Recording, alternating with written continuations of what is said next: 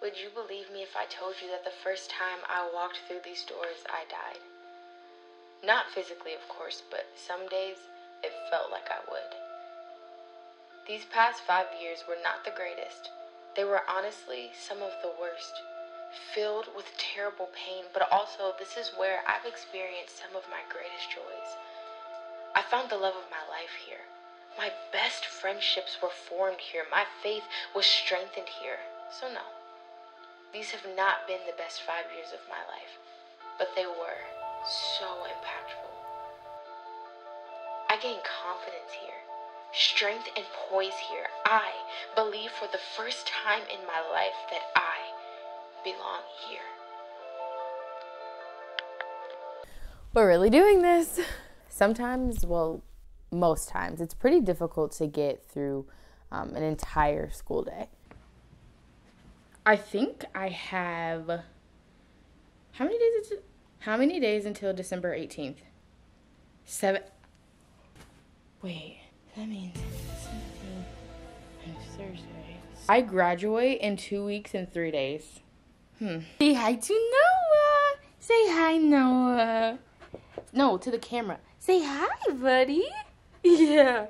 Oh, you're such a good boy. It's Thursday, and I have I even been to school this week?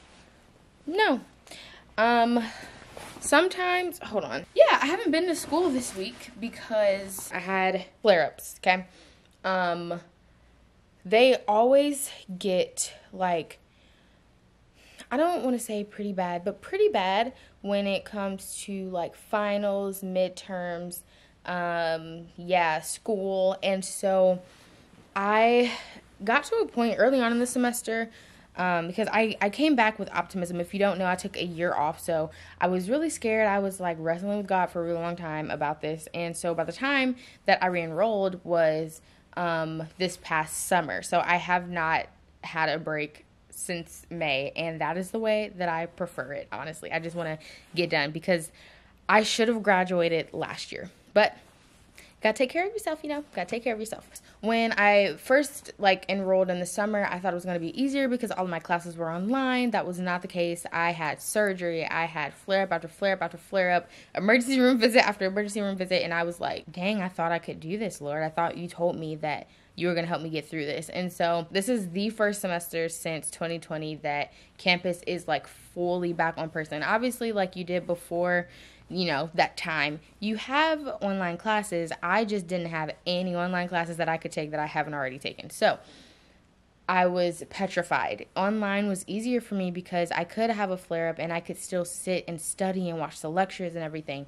And so I it got to a point where I really just had to talk to my professors and be like, "Yo, bro, this sucks and I hate that it's this way because I love school. I love learning. I love my professors. Um, I love my freaking classes. Like this is my favorite semester I've ever had at school. And so I want to be there, you know? And on top of that, you're paying try to ching ching, okay? But I got to a point where I was just like, I have to be honest with all of you and let you know that I literally have to choose between coming to class or doing the work because by the end of the day after I've done all my classes, I don't I literally don't have the energy to do anything else. Like I literally just have to lay down the rest of the day. If I'm able to stay home and conserve as much energy as I have, I can guarantee that I can actually like understand the material and be prepared for my exams and my papers and everything else. So that's what I've been doing. Um, I think I'm probably going to send them another email to let them know that these past these last few weeks I'm probably not going to be there unless a miracle happens. The hour is late. I am sleepy and I'm off to study. Thank you.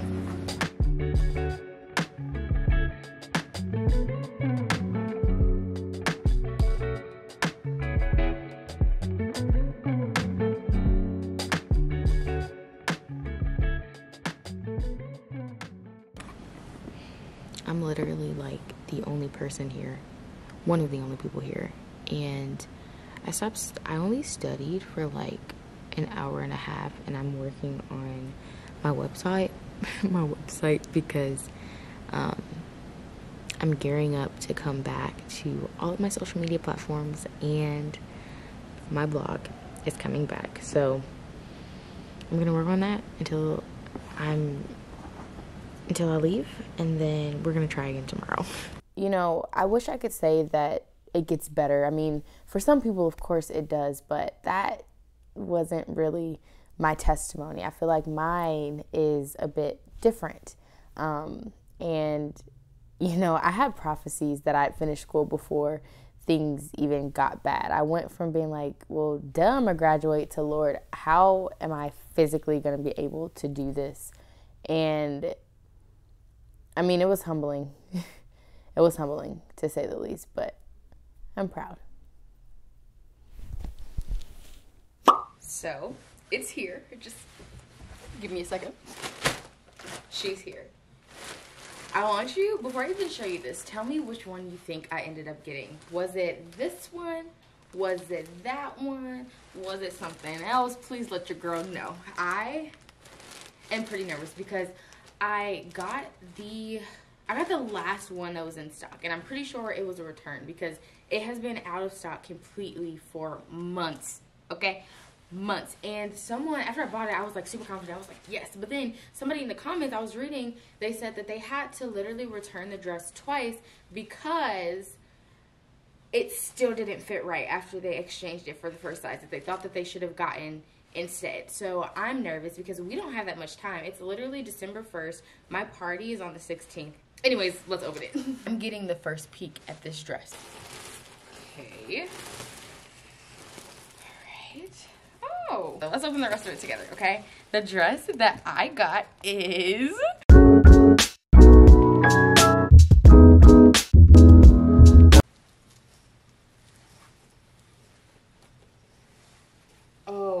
baby. If this is not the amount of extra, if this is not the amount of extra, I'm gonna try this on. I'm gonna try this on. I'm gonna try this on. I'm gonna try this on. One second.